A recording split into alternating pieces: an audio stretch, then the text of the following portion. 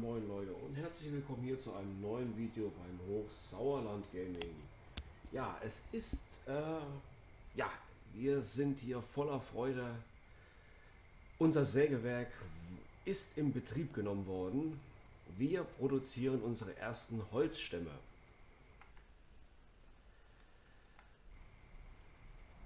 Dazu schauen wir einmal rein ins Sägewerk, was hier genau passiert. Unser Mitarbeiter ist auch schon fleißig am Bedienpult. Ja, der nächste Stamm kommt angefahren. Ich habe nämlich schon ein klein wenig Holz verladen in das Sägewerk, um die ersten Bretter zu produzieren.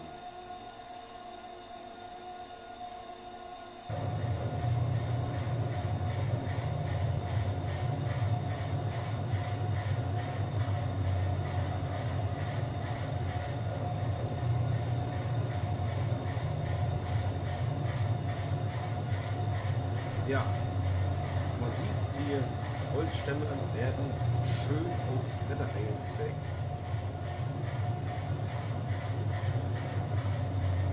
Unser Mitarbeiter ist hier fleißig am Werkeln.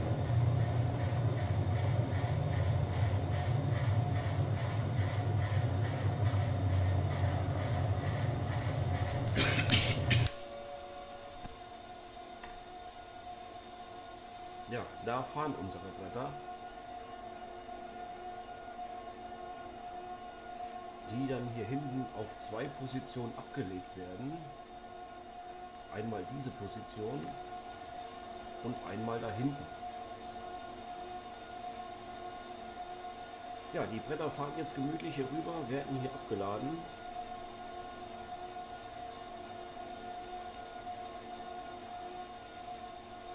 Und schon kommt der nächste Stamm angefahren.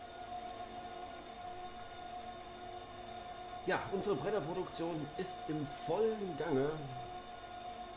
Das freut mich sehr, dass ich hier ja, dieses Werk jetzt in Betrieb nehmen kann für unsere weitere Produktionsstätten. Es ist auch mittlerweile Nacht geworden, aber wie man sieht, man arbeitet hier im Dreischichtsystem um auch rund um die Uhr uns mit Brettern zu versorgen. Werden aber gleich noch mal ähm, ja, äh, noch ein paar Stämme holen werden, dass unser Sägewerk auch ordentlich gefüttert ist. Ich möchte einmal nur kurz schauen, wie viel haben wir denn jetzt? Ja, wir haben noch 912 ähm, Kapazität an Holz, Hackschnitzel, ja, hier kommen dann die Hackschnitzel raus, die wir dann später mit dem Radlader verwenden werden ja, für unsere Kartonproduktion, weil wir müssen Kartons herstellen für unsere Obstgärten, um diese Früchte zu verkaufen. Ich würde sagen, wir lassen den Mitarbeiter hier einfach mal alleine jetzt arbeiten und werden einfach noch ein paar Holzstämme zusätzlich dazu holen, Dazu müssen wir einmal hier rückwärts rausfahren. Ein bisschen eine Sisyphus-Arbeit. Ja, und schon ist es wieder passiert.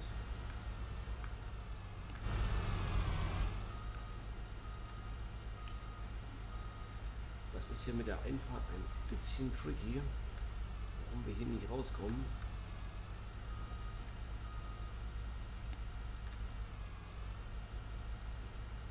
Machen wir das Ganze einfach anders, weil wir können da hinten auch noch rausfahren.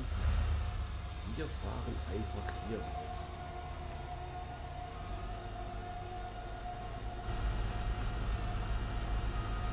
Ja, das ist alles äh, ein bisschen eng gebaut alles, aber es funktioniert. Es funktioniert, wir können hinten reinfahren, vorne raus. Einfach wunderbar. Ja, ich habe diesen äh, Anhänger als Mod runtergeladen mit Autoload-Funktion. Ich wollte ja eigentlich den MAN als LKW haben für unsere Stämme zum Aufladen, aber leider ist dieser Mod ähm, ja, mit der Autoload-Funktion hat das nicht so funktioniert, wie ich es gerne hätte. deshalb äh, ja, habe ich mir diesen anderen Mod runtergeladen. Wir werden jetzt einmal den Mod starten für Autoload. Der Autoload ist an, muss hier ein bisschen ja, ähm, recht äh, knapp dran fahren, dass diese Stämme überhaupt aufgeladen werden.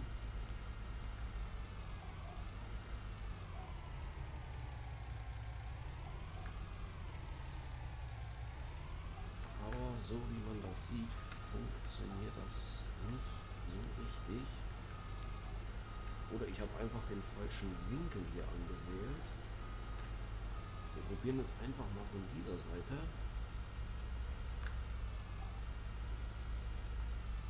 Ja, von dieser Seite funktioniert es. Ich habe die, äh, ja,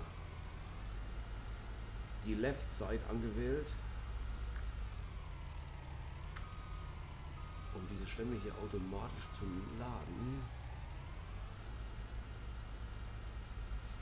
Ist alles ähm, ja ein bisschen tricky mit der Beladung.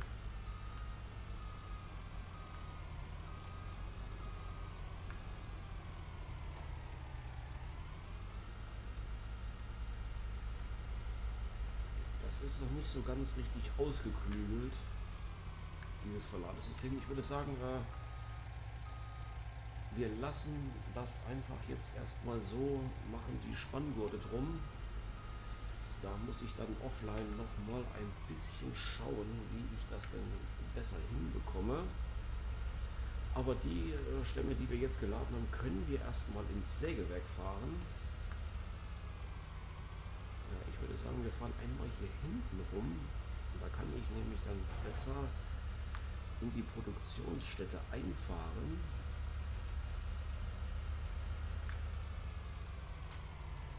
Weil man hat ja gesehen, dass dies äh, ja nicht ganz so einfach ist. Ähm, ja, ich habe die Wahl der Gebäude von der Platzierung her nicht ganz so gut gewählt. Aber sollte kein Problem sein. Ähm, wir können hier reinfahren. Werden die Stämme jetzt hier an der Abladeposition, die sich hier befindet, einmal abladen dann einmal Unload und unsere Stämme werden in das Sägewerk geladen.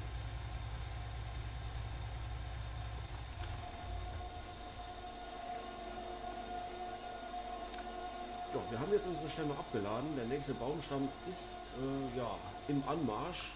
Wir haben jetzt 9% quasi mit den paar Holzstämmen hier geladen.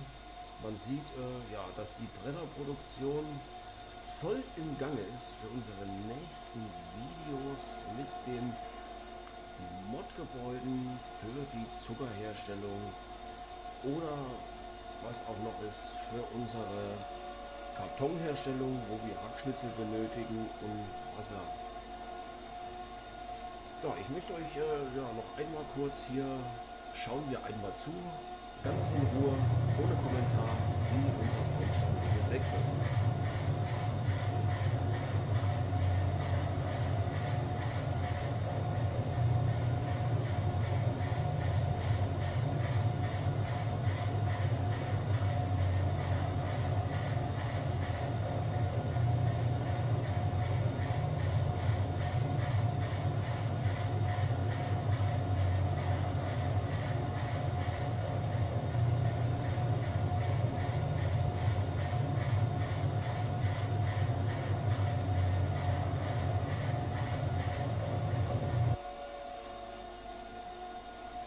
Unser Holzstamm ist jetzt äh, durchgesägt. Ich habe mal einen kurzen Moment Ruhe gehalten, dass wir das einfach auch mal schön sehen können, wie hier unsere Bretter hergestellt werden. Ja, unsere Bretter laufen jetzt über das Förderband zur Abladeposition, die einmal hier jetzt mit 31,67 Prozent. Hier hinten befindet sich die andere ja, Abladeposition für Bretter Ja, die Haufen wachsen und gedeihen, wird größer. In der Zwischenzeit wird äh, vorne unser nächster Baumstamm angefahren. oder kommt angefahren in unserer Sägeeinrichtung hier. Unser Mitarbeiter hier hat voll zu tun. Ja, einmal kurz schauen, was unser Mitarbeiter da eigentlich macht.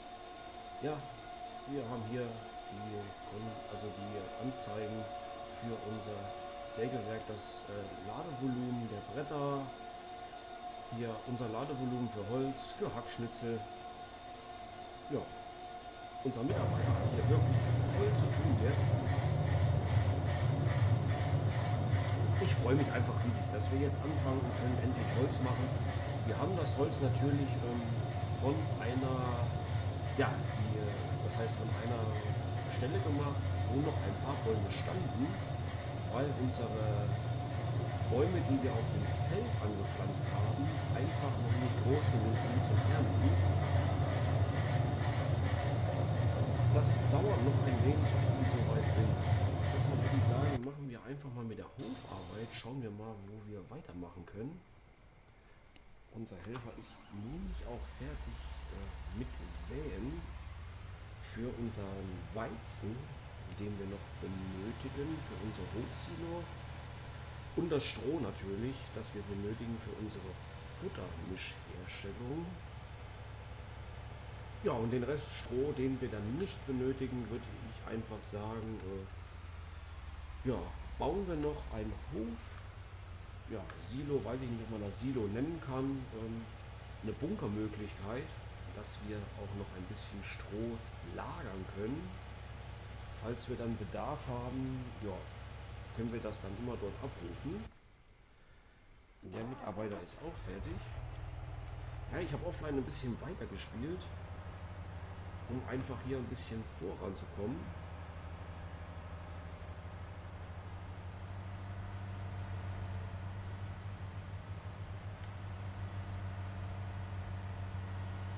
Ja, hier liegt noch ein bisschen Heuschwaden, die nicht mehr bei eins meiner Spiele nicht mehr in den Ladewagen gepasst hat.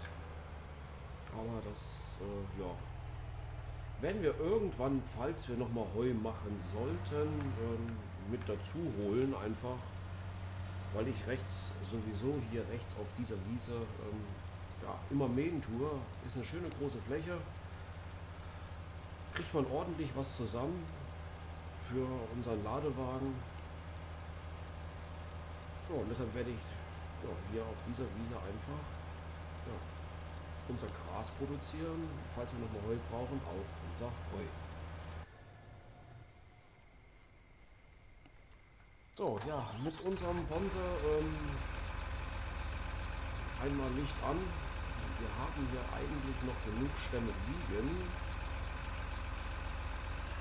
was wir hier aufladen können. aber ich möchte jetzt einfach gerne äh, noch, noch ein Bäumchen für mein Video hier einfach sägen. Ja, ich habe den äh, Anhänger, den ich habe, ist äh, wie gesagt vorhin schon gesehen mit Autoload-Funktion. Von daher ist es eigentlich egal, wo ich meine Stämme hinlege. Aber ich möchte trotzdem äh, ordnungshalber das einfach ja, auf einen Haufen lassen. Schnittlänge ist 6 Meter. Die lassen wir auch so. Auch für unsere zukünftigen Bäume, die wir ernten werden, werden wir alles äh, mit 6 Meter ernten. Oder Fällen, ich weiß nicht, wie man es äh, genau beschreibt.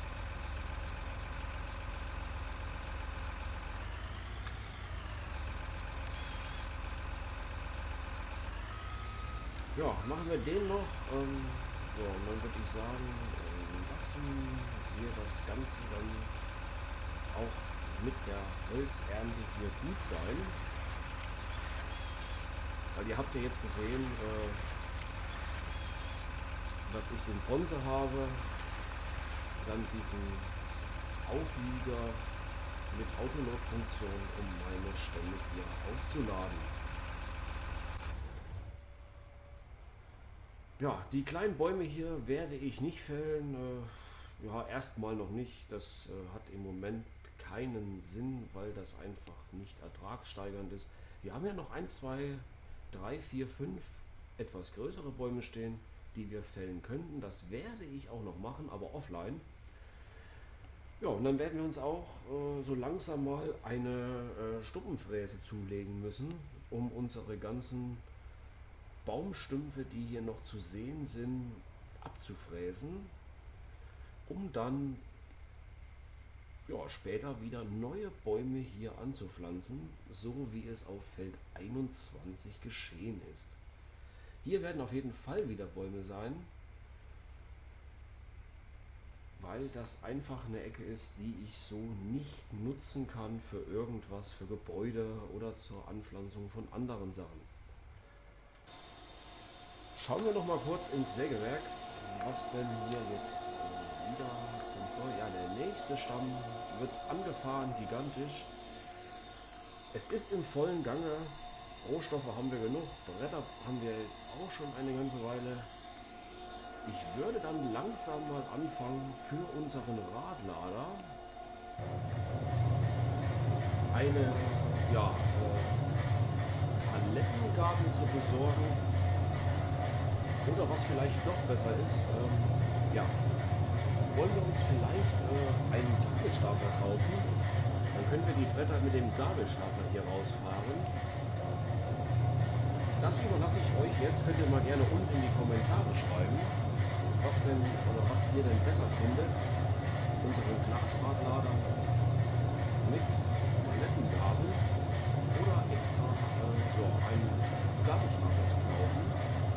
unsere Paletten von diesem Gebäude ins nächste Gebäude zu fahren, um dort dann mit der Palettenproduktion zu beginnen.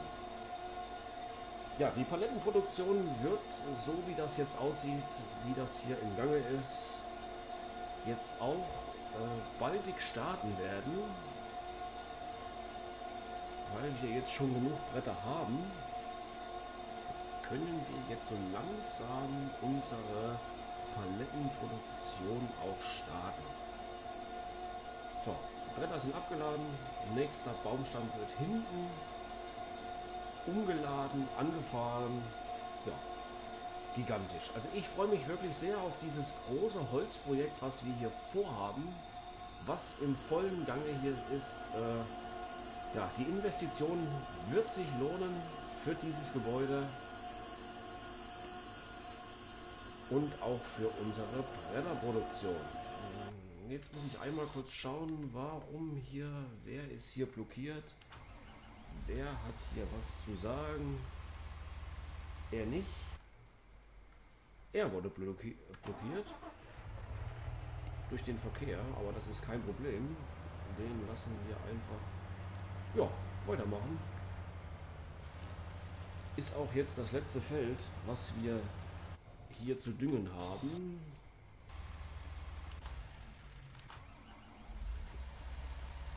Die anderen Felder sind bereits gedüngt, das heißt wir können diesen Düngeranhänger wieder wegfahren.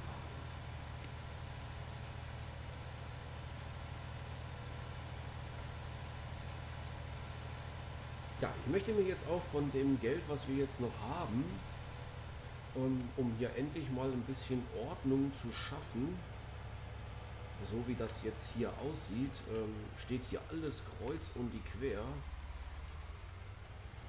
Mal schauen, ob das vom Platz her reicht. Dann werden wir hier ein ja, Unterstand bauen, ein Gebäude, um unsere ganzen Fahrzeuge im Unterstand zu platzieren. Dass dieses ganze Chaos hier einfach aufhört und dass wir ein bisschen Ordnung hier reinbekommen. Schaue ich einfach mal, das werde ich aber auch offline machen, dass wir hier noch einen Unterstand hinbauen, wo wir dann unsere ganzen Fahrzeuge unterstellen können. Es wird das ein oder andere Fahrzeug auch noch dazukommen, wenn wir denn genug Geld haben.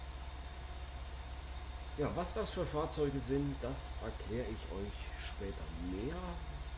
Gehe ich nochmal genauer drauf ein, was wir hier noch benötigen